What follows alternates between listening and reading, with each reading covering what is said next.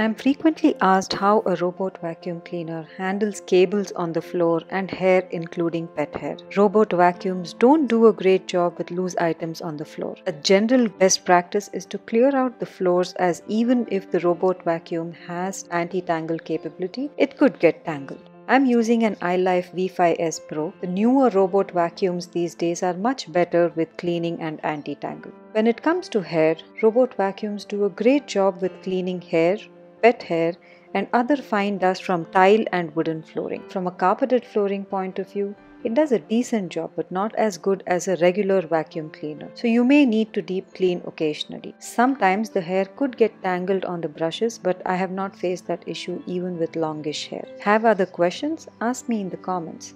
Remember to like before you go.